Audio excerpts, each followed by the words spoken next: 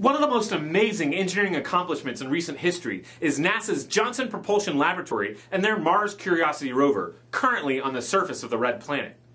They started off by hypersonic aeromaneuvering through the atmosphere in order to slow it down and steer its descent. It then uses a hypersonic parachute to slow down even more. Once it slows down enough, it ejects its heat shield and takes detailed sensor measurements of the surface of the planet. Once it knows where it is, it ejects from the back shell and comes down on rockets. The rocket crane then lowers the Mars Curiosity rover on a 21 foot cable down safely to the surface. As soon as it lands, it then has to cut the sky crane away and fly away to a safe distance. Now, our version starts with this Hot Wheels version of the Curiosity capsule. It does its hypersonic aero maneuvering through space. Then we show each layer of the separation using these foam core layers attached with neodymium magnets. As it slides down, it's able to show each stage of the descent, separating from the back shell and, of course, our sky crane maneuver.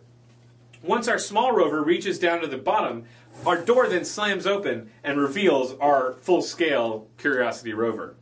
Now in this case, we use the LEGO Mindstorms EV3 robotics kit. Notice how we have four motors. This rover drives up to the top of our version of Mount Sharp, then uses its laser target to shoot a light sensor.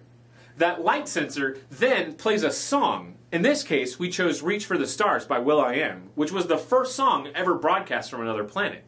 Once the song plays, that triggers the next module.